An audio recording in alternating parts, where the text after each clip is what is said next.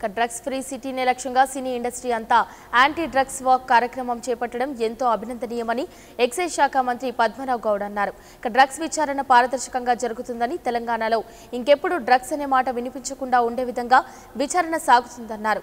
కాగా సినీ ఇండస్ట్రీలో ప్రత్యేకంగా ఎవరిని టార్గెట్ చేయడం లేదని మంత్రి చెప్పారు.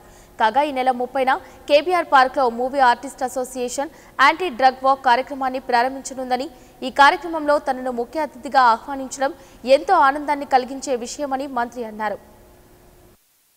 ఇస్తా ఉన్నాము. ఒక మూడు నాలుగు జిల్లాలో ఆల్రెడీ ఆ ప్రాసెస్ మొదలైపోయింది. వాళ్ళ బెనిఫిట్స్ అందించినాము. ఇంకా రిమైనింగ్ డిస్ట్రిక్ట్స్లలో మొన్నటిదానికి ఫైనాన్స్ రిలీజ్ ఇప్పుడు ఫైనాన్స్ కూడా వచ్చేసింది మాకు. వాళ్ళకు కూడా వీలైనంత తొందరలోనే ఆ బెనిఫిట్స్ పొందే విధంగా వాళ్ళ జీవనాధారం ఏదైనా అంటే జనరల్ స్టోర్సే కానీ ఇంకా ఇతరత్ర ఏదో కానీ చేసుకోవడానికి ప్రభుత్వం బాధ్యతనే అది. ఖాళీ క్లోజ్ చేయడము కేసులు బుక్ చేయడం కాదు. పీపుల్స్ కాపాడాల్సిన బాధ్యత కూడా ప్రభుత్వందే కాబట్టి ड्रग्स का सब्जेक्ट अभी नहीं है वो वो तो अभी चलते जा रहा है सब जने बोल दिए एज ए मिनिस्टर मेरा भी प्रेस ला के बोला कमिश्नर साहब बोले प्रिंसिपल सेक्रेटरी इवन सभी बोल रहे वो अभी For more updates, please subscribe 99 TV Telugu.